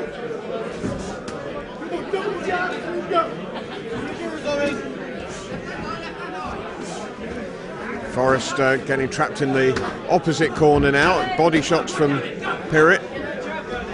Just the, think the physicality of Pirrett just beginning to have an effect here, Craig. Yeah, that's right, Nige. You get these kids, you know, 17, 18, the formative years, and uh, some of them got the physique of men, some are still boys, you know. And they're changing all the while as well, aren't they? That's right, entirely. It's, it's such a, a pivotal age, but the strength there coming from Owen. But uh, young Nick Forrest, he's a wily little character, isn't he? Got a few uh, few tricks there. Yeah. And um, Gavin Lane, just a, a wealth of knowledge there. Um, you remember a useful pro from Bristol, uh, Sean Baker. Oh yeah. Yeah, he boxed uh, boxed a few rounds with Gavin there on the uh, eight rounder in Whitchurch back in the day. And uh, you don't get to be that oily a pro without a few tricks, and doubtless he's passed them on to Nick. Yeah, you'd imagine so. Owen Pirrett uh, deciding to uh, stand for the break in the rounds. Getting some, uh, going to say wise words from Simon, his dad. That's right. Yeah, it's uh, it's always a worry, father and son teams, but uh, Simon and Owen managed to carry it off. You know, from the top down, Mayweather and so on and so forth. yeah. You know, there's always a rift between father and son coaches, but uh, thus far, it seems to work. So far, so good. Second round. This uh, youth middleweight contest. Owen Pirrett in the red headguard against Nick Forrest in the blue. Shot, shot, keep coming in. Don't bring it up. You make a monkey. Bring him in, O. Bring him in. So Forrest trying to walk in behind his right hand.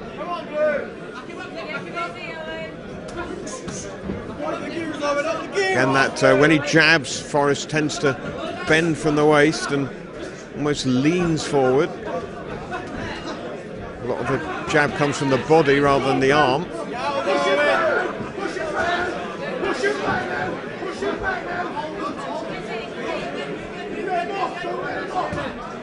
So Pirrett trying some more body shots again.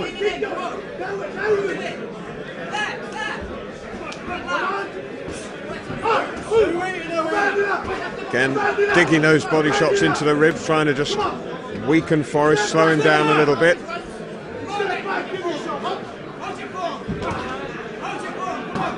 See the power coming in from, from Pirrett, definitely beginning to have some sort of effect.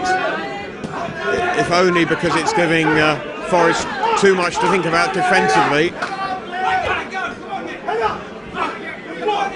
Forrest, to his credit, keeping on coming forward. Body in, body in!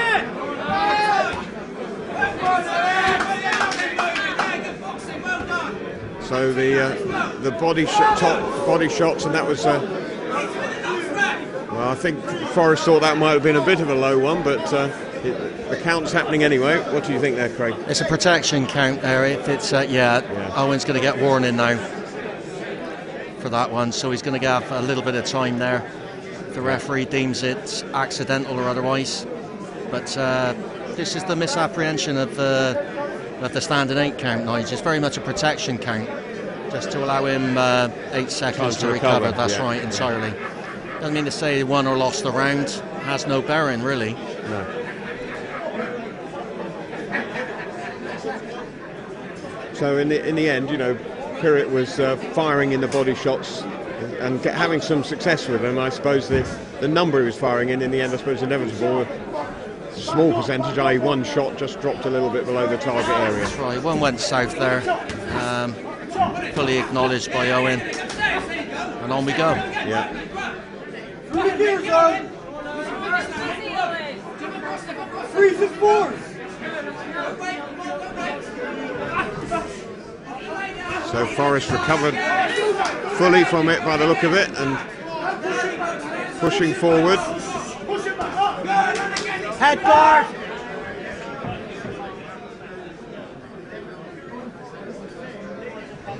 So another slight delay because the uh, Pirrett head guard has come loose. Slight adjustment, can't be very much longer in the round anyway. But just getting all things ship shape again.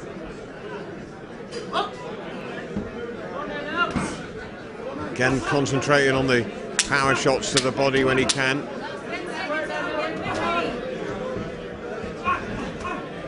Pir- still trying to dig those shots in, catches him with a left hook to the chin, and that's the end of the round.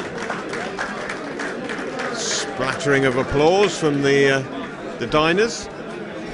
So, uh, where's this one going then, Craig? It's closer than what you'd imagine, to be honest with you, Nige. I mean, um, Nick is he, he's, he's quite clever behind the jab. He's nicking some points here and there. Uh, I think the, the, the body shots are having an effect on Nick. However, you can't rely on them. You know, you can't rely on the power shots. You've got to score points, and uh, sometimes you run out of ideas when the power's not working for you. Uh, you know, you can be a bit limited. But uh, just at the moment, I fancy Owen to be in front. But There's you- nothing else you're saying to the judges, you know, I'm, I'm putting a lot of physical effort, I'm, I'm dominating the contest. That's the impression he's trying to create, isn't it? That's it? right, entirely. But having said that, uh, Nick, he's got these, as I say, long levers, sneaky little shots, and having success as well. Yeah. Final round then between these two. Owen Pirrett in the redhead guard against Nick Forrest in the blue. Seventh fight of the night here at the Bristol Sporting Club December show.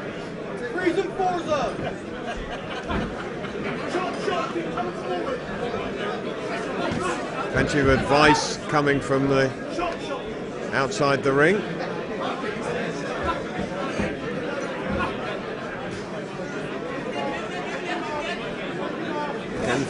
Forrest, Forrest showing the intent to come forward if he can. Probably has a pretty shrewd idea of what's going to come back from Pirrett, but he's stepping inside himself and just trying to rough his man up a little bit. And it's all getting a little bit untidy on the ropes there, and the referee calls a halt again.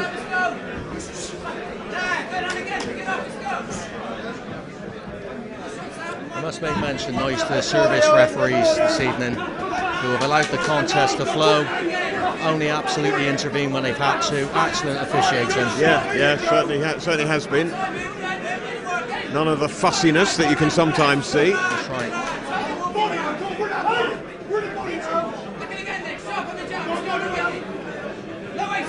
So it all just means that there's been even more action to enjoy. It's flowed throughout all the contests. Pirrett looking to regroup in the centre of the ring again. It's been a good uh, third round from Forrest, though. He's come back well from that second round where he suffered a low blow and he uh, seems to have weathered the worst of the storm from Pirrett's body shots and is coming on strong himself now. He's well in the contest. Pirrett again lands a big right to the to the ribs. Such a fit kid, isn't he, Nick? He's such Yeah. a fit guy. His body shots coming in, ripping in, sapping his energy, and he's still plenty left in the tank, Nige. Yeah. So big, large breath out from Forrest as he recovered from another stinging body shot. Just trying to land something in the last 30 seconds of the round. Keeping his form well, Forrest. Pirrett again showing all the physicality he has throughout the contest. And now it's being concluded at short range as they slug out the uh, bent arm shots close into the body.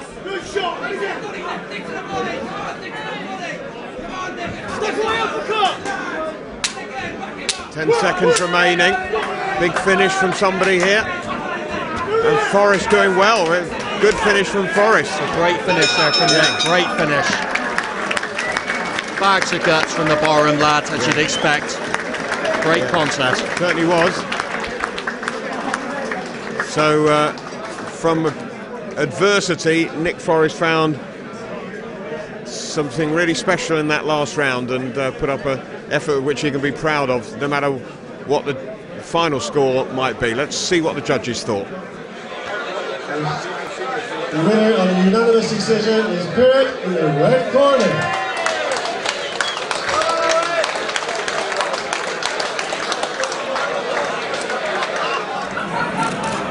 Looking at me. Excellent. Cheers. Well done.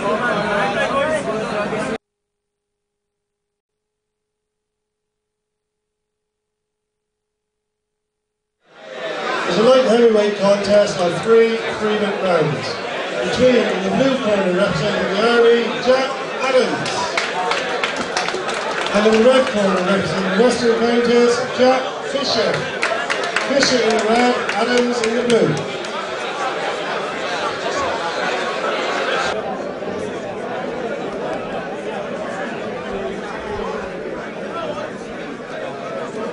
So after a supporting contest, we're now back to the match between the Army and the Western Counties. Jack Fisher representing the, uh, the home side from Devizes, and he's up against Jack Adams from the Army. This is a light heavyweight contest. We've seen Jack Fisher a few times in this in this room on the Sporting Club, haven't we, uh, Craig? That's right, the reigning Western Counties belt holder, if you remember, Nige. Uh, now 26 bouts, winning 12. Jack Adams from uh, 4 Battalion REME, 16 bouts, winning 8. They're uh, having a bit of a look at each other to begin with. But doubtless it'll catch fire before long. Yeah, I'm sure it will. So, coming towards the end of what's been another entertaining evening of, of boxing. All evenly matched, well contested contests. Fisher doing lots of uh, range finding,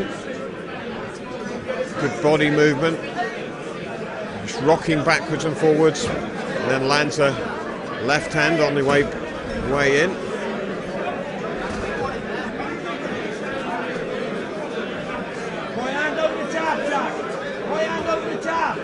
So they're both still assessing one another.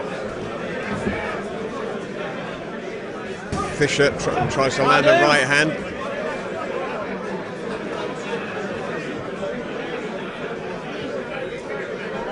And uh, Adams from the uh, the army also just looking a little bit wary. Both both boxers poised like coiled springs, but not too much is springing from them just yet. That's right, rightly so as well, Nige. You wouldn't want to walk into one of those shots. But uh, some nice side steps there. Both guys trying to get the opening. And in glimpses, they find it, don't they? Yeah. But uh, then they're back to passive again. Yeah. Um, but again, nicely, nicely balanced. You I was fancy going to balance exactly the right word. Yeah, Yeah. I think it's going to be one of those matches uh, of, of tactics more than anything, Nigel. Yeah. In a minute, some wag's going to shout out, hit him. but there we are. Well, they, they, they are connoisseurs here.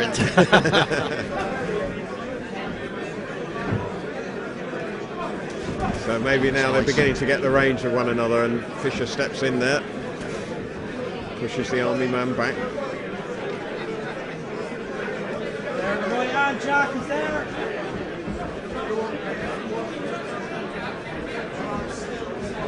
So it's a learning round, almost a body shot from uh, Fisher. He's turned out of the corner by Adams.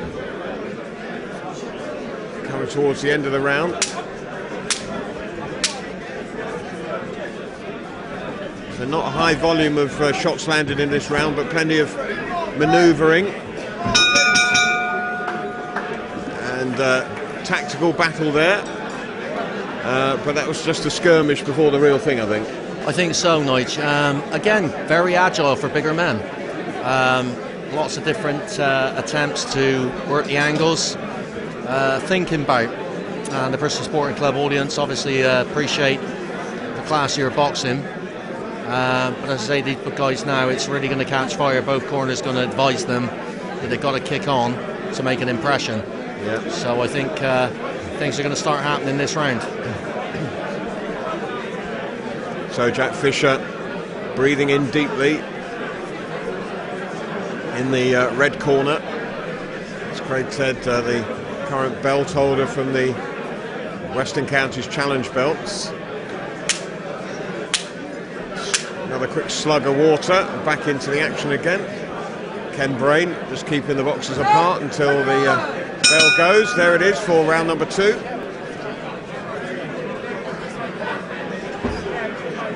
Faint right left by Fisher, trying to change the angle, open up something. Steps in and throws. Adams slightly more conservative, waiting for see what Fisher is going to throw at him. Talking about bobbing and moving from Fisher, but still being very selective with his shots. Tries the overhand right there that falls short. It's a moving target, of course, and Adams was good enough to get out of the way of it. Adams now himself flashing out the left jab just to again find the range, pushes it into the face of Fisher.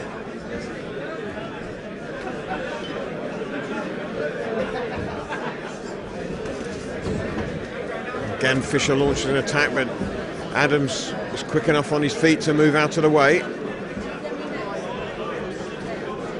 Whenever one of them uh, launches some sort of attack, the, the other is quick enough to just get out of trouble. So it's the fleetness of foot which is the best defensive weapon in this contest. That's right, Nigel. You can tell that, that neither of them are holding ground. They're, they're working very well in phases. Uh, kind of first and third boxing the guys are doing. So Jack might attack first. The army guy comes back. Jack with the uh, third attack. And uh, very clean, very nice to watch. They're covering a lot of ground as well around the ring, but a lot covering more ground than they are landing shots. But although now Fisher lands two body shots in succession there, and then left hook just about hits the target. Adams goes downstairs with a right hand and then charges forward, head down.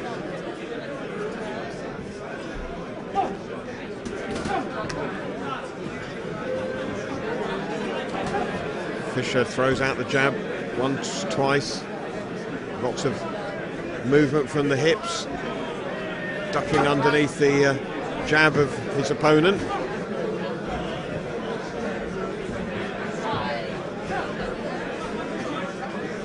Jab, jab, jab from Fisher at the moment.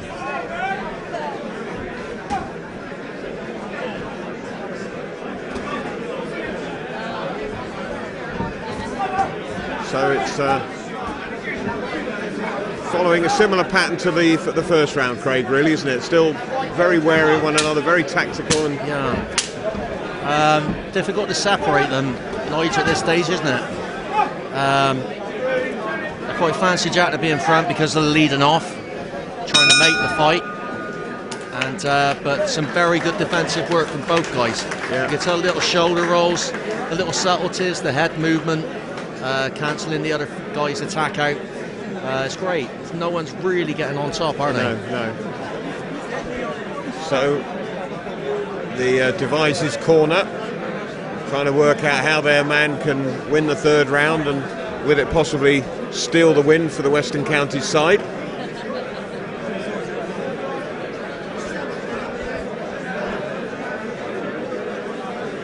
Final round coming up. Over on the far side, uh, Jack Adams for the Army. Up off his stool already.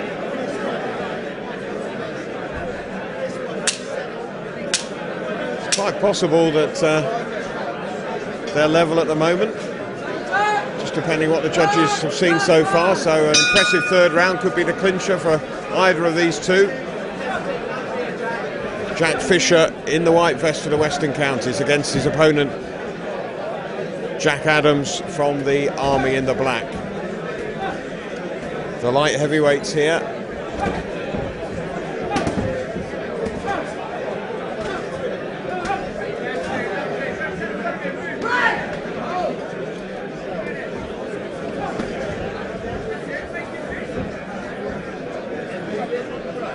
Fisher still trying to work out how he can get inside and land. The Army corner shouting, make him miss, which uh, their man has been doing quite frequently. I have indeed. It's uh, very clever stuff from um, both guys. Nice slip there from Jack. Upper body movement for both guys, very good. Defensively, obviously that's a defensive art line, you know. Yeah, So uh, but it probably explains why there's a bit of a murmur in the room because uh, maybe you know people are expecting blood and thunder. You know, uh, you know, some people maybe wouldn't appreciate the defensive art so much, but there's just as much skill in avoiding a punch as throwing one, isn't there? very much so, and that's uh, that's the art of boxing. He that fights and moves away lives to fight another day. Make him miss, make him pay. So both busy. Halfway through the uh, final round. Ken Brain calls break.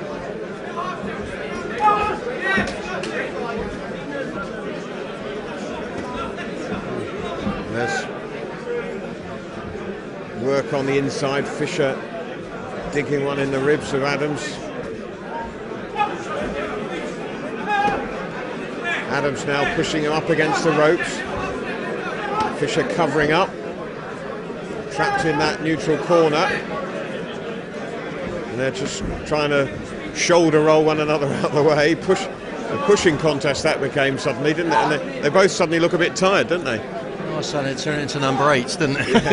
yeah. But uh, let's go back to action again. I fancy the pace has quickened a little bit here tonight in the late stages. Yeah. And, and it's become a war of attrition in there. Both fighting in close. Both swing and miss. And they're back in the clinch again. Adams leaning in. Fisher back across the ring, throws a tired looking right hand that went behind the head of Adams as he ducked into it.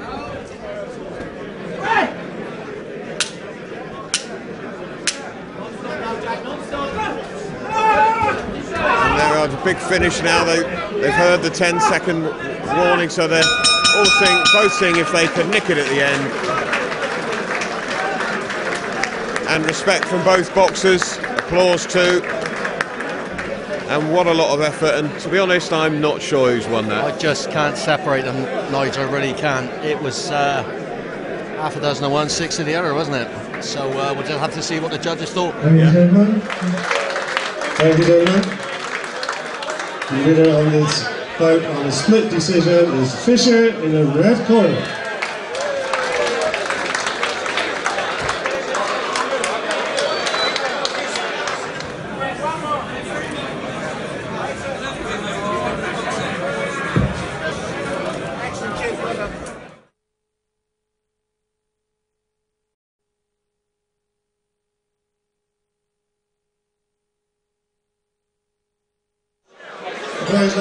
Two-minute rounds between, in the blue corner, representing the Army, Ben Howard. And in the red corner, representing the Western Counties, Simon Polazic. Yes, in the red, Howard in the blue.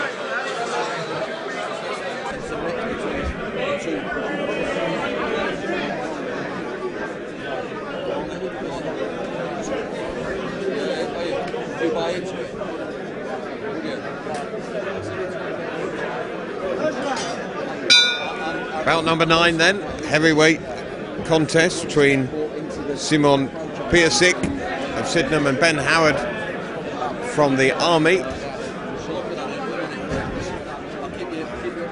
See what uh, what we have in store here between these two. The big boys back in the ring again. Bound to be explosive, I would have I would have said, but uh, who knows how it might uh, turn out. So Ben Howard, as I say, from the army in the black, and Simon Piasik, I think. I'll go with you, Knights there. Pizik, yeah. And again, different body styles here again, as we've seen throughout the night, Knight. Yeah. Uh, still very much both their weight at uh, 84k. Very mobile again for bigger guys. Nice shot selection. I have to say, the standard of boxing tonight, even for novices, has been absolutely superb. And uh, I can't thank James Allen and his team enough from the Army Development Squad for providing us with uh, absolutely fantastic opposition. Yeah, you couldn't wish for better contests. Every single bout, you've wondered who might have won at the end. There's been no clear winners, really, have there? That's right, and that, that's a sign of a very, very good match. And uh, it's not been wasted on this uh, this audience tonight. Very appreciative of the, the guys' efforts. We're supporting club, the main uh, supporters of amateur boxing in the Western Counties. And uh, believe you me, that's appreciated, Nigel. Yeah, absolutely. So, coming towards the end of the first round between these two. Ten seconds to go. The army man just uh, on the offensive as we enter round number one. There is the bell that signals the first two minutes has gone by. Ben Howard for the Army goes back to his uh, his corner. What do you know about Ben Howard? You've got a whole glossary of information about him, Craig, the uh, the Army boy. That's right. He's um, three five engineers, 22 years of age, seven bouts winning four. I would suspect that he's better than that record, Nige, wouldn't you? Yeah. He's very stylish, very well schooled, obviously. And uh, Simon, Simon, let's just say Simon. Simon, yeah, It's uh, 84k 915. Absolute load of experience in his corner there. Rob Haddon and Rob Scott. Remember, we've seen uh, Rob Scott's boys, the twins, box here yeah. regularly at Bristol Sporting Club. So that words of wisdom there to impart to uh, to Simon. I suspect honours even just at this stage. But again, a good pace for big guys. Yeah. Well, he's definitely Simon because who doesn't spell Simon with a Z? It's, it's more of an eye test than the name, really. Certainly is. You need to keep your eyes peeled for this one, the second round between the two, and Simon goes forward and lands a right hand. So fast start to round number two. The uh, home boxer looking to pick up the pace in the early stages. His army opponent is uh, somewhat taller, of course, uh, Ben Howard in the black vest. So Piasic, Simon Piasic looking to uh, keep busy and give his man something to think about, backs him up against the ropes and unleashes some uh, hook shots. Three two-minute rounds this, this bout, remember. Certainly the uh, is keeping busy, trying to force his man back, but uh, Howard is content to move around the ring and parry the shots and throw out that jab. Taller man.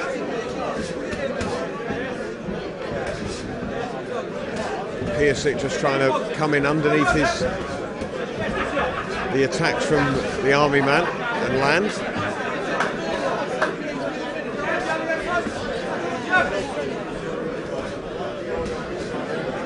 Piasic just getting trapped in that corner just a little bit. Wants to get back in the centre of the ring if he can.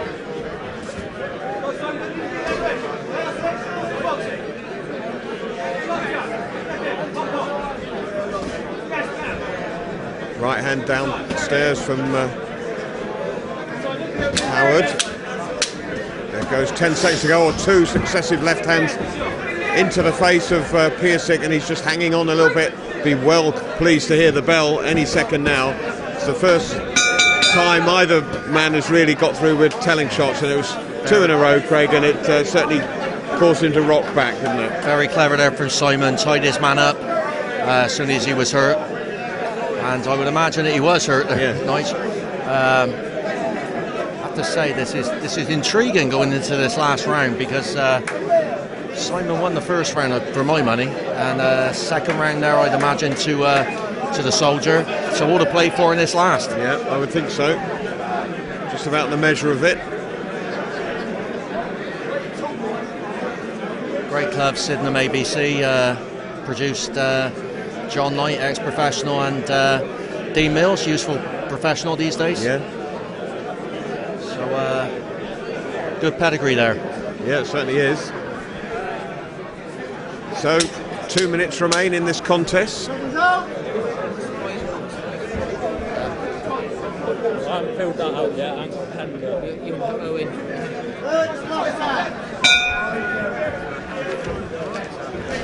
So here we go with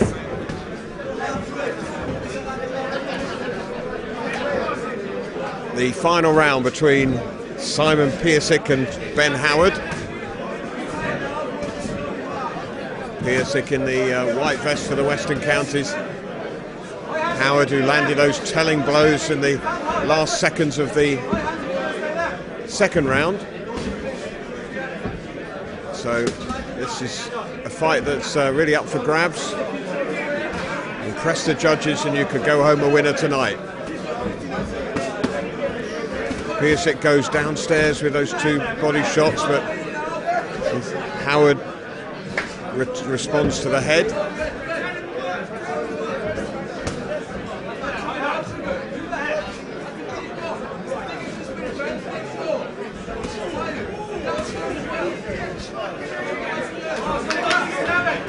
So, minute to go in the final round.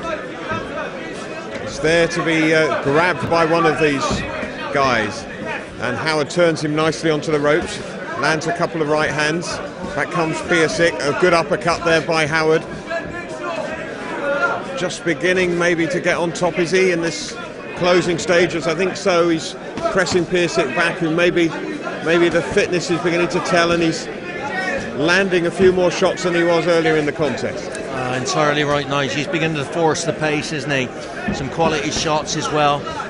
And Simon, moving so well still. So some very, very good shots. Still hugely competitive.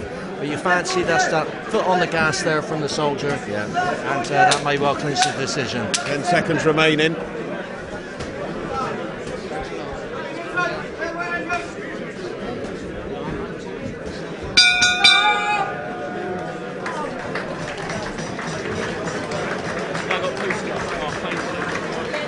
So there we are. Fantastic uh, contest between the two boys there. Ladies and gentlemen, the result of this bout was a unanimous decision to Howard in the blue corner.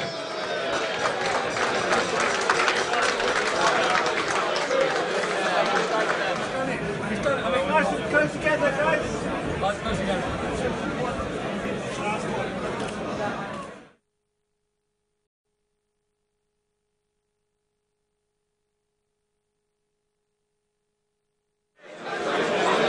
Ladies and gentlemen, this bout has been sponsored by Car Commercials Body Repairs Bristol on table 6. And also Robbie and Travis Rayfield, West England Group, table 7.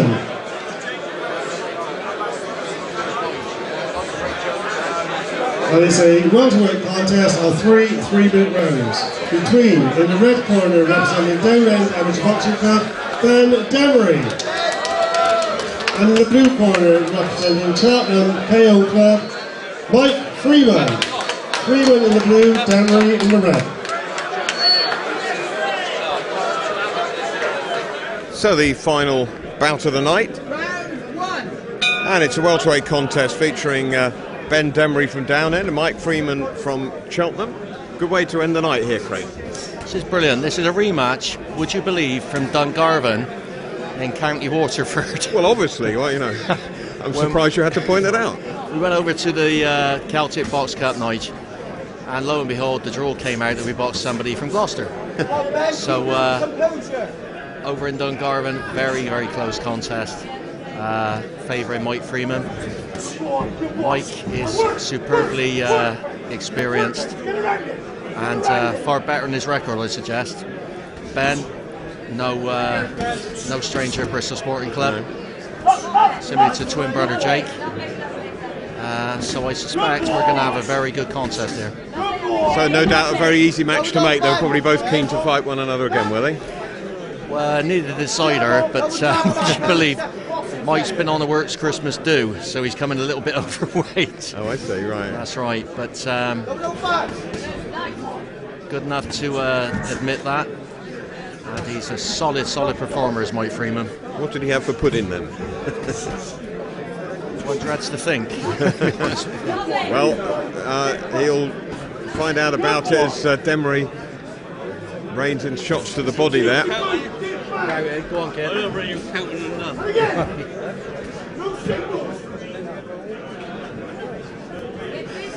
Demery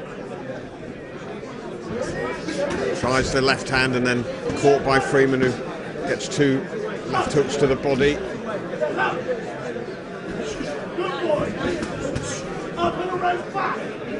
Got box in it. Again, Freeman again aiming for the ribs. Mid to long. Don't climb on him. Step back and box, Ben. Demery lands a good right hand there as he allowed his man come in towards him and clipped him round the side of the head. Good left hand again from Demery gets through. Freeman's guard just dropping a fractionally and Demery was on it like a shot. That's it. Plenty of advice coming from uh, behind us and Demery left to the body, right to the side of the head Step over it. Step over it. and allows him to step in and then does beautiful step to the side and lands another right hand from close range. Back comes Freeman though, as you'd expect. Keep your range, Ben. Keep your range. Don't draw into it. Keep your range. Demery looking to One, two, check up. Put the pressure on as we come towards the end of the first round here. Ten seconds to go. Demery, nice little uppercut from close range. Freeman comes back with some of his own, swinging left.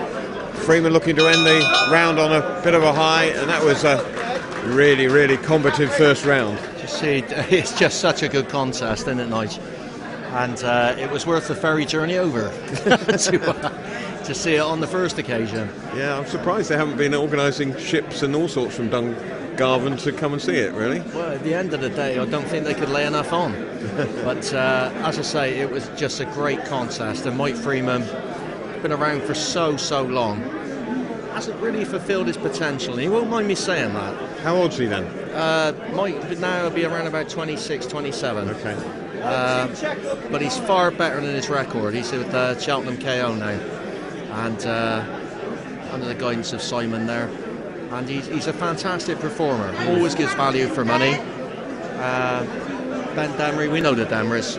Um, Value for money them. always. Absolutely. And If this- I were paying for it. That's right. This is such a good contest. It really is.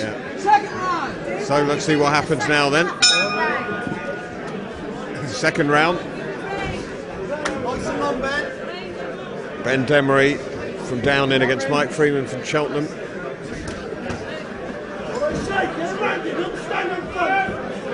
I want Ben. Right hand from Freeman, but Demery steps inside it. Mid to long, mid to long. Move your feet. Boy, good boy. And Freeman catching him with a couple of good left hands there. Demery pushing him away. In there.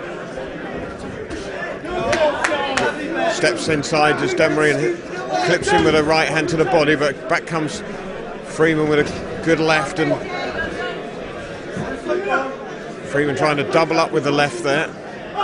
Demery just pushes him clear once more. Good jab, great jab by Freeman. Demery comes back with the right hand. Step across it, Ben. Jab and step Good call, across So uh, that lean back there.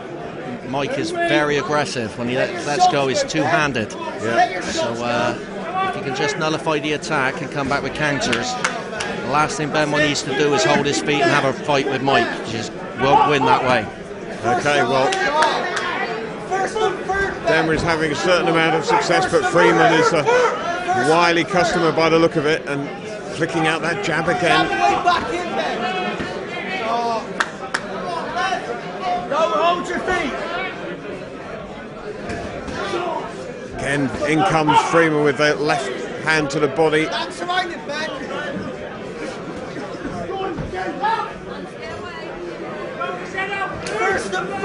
Demery just sworn to keep his head up by our referee. Good right hand by Demery, clips him as- on his way in and then steps. Inside, Freeman again, flicking out those jabs. Good right hand again by Demery. First and third, Ben.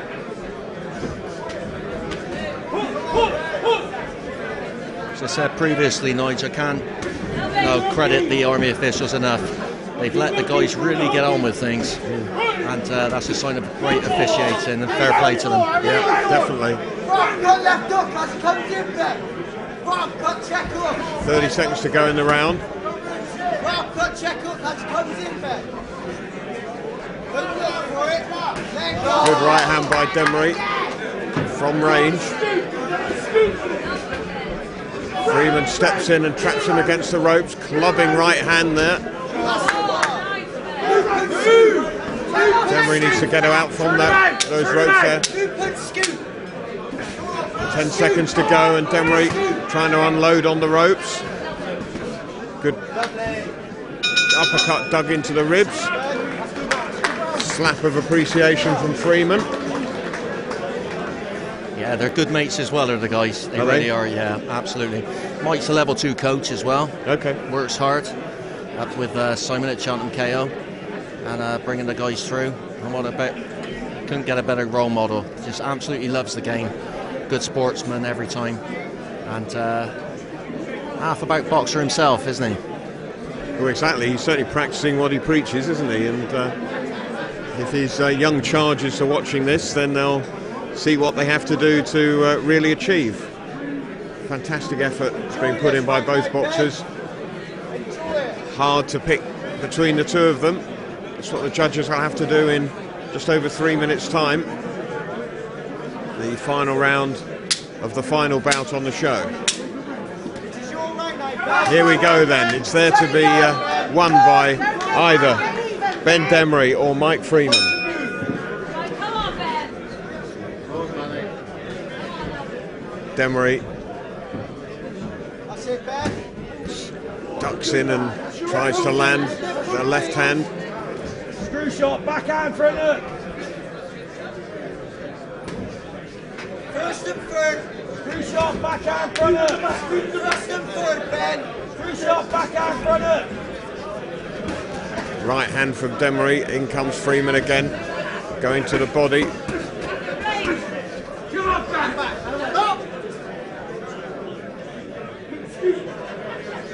Nothing silly, Ben. You do all the Into time, it. Into it. Ben.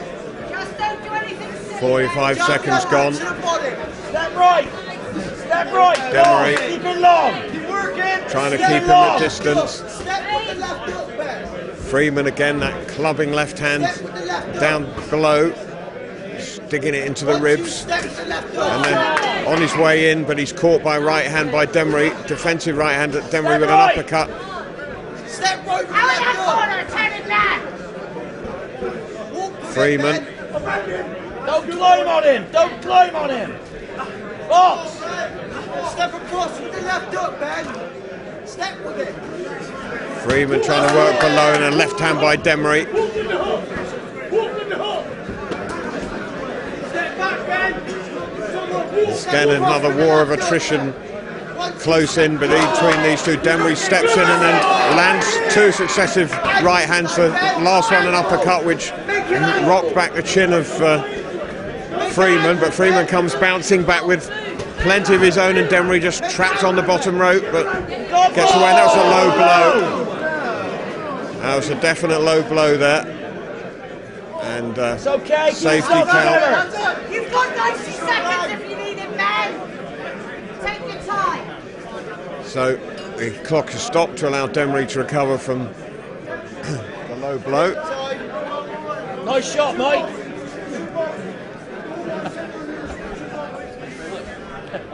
Ninety seconds if you need it, So- Um, deep breaths and Demery just chatting to the referee who uh, says keep him up and now they're off Step again. right, right hand. Step right. Step right.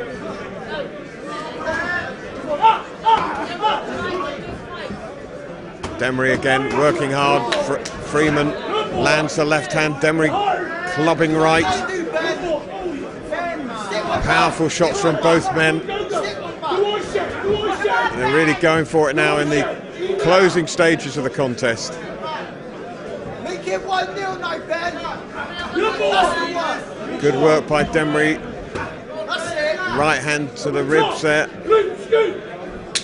Gets in, ducks the shoulder, and now last 10 seconds. Freeman's tied up on the ropes. That's just about going to be the last of the action. Not going to be time for very much more. There's the bell, in fact, and that's the end of the contest. And just as close as Craig predicted it was going to be between two true warriors in the ring, and that was a great advertisement for them both. It's always a fantastic contest, Noise. That's uh, that's two bouts now they've had. Surely there must be a trilogy, even probably more. Ladies and gentlemen, the result bout number 10 is a split decision in favour of Demery in the red corner.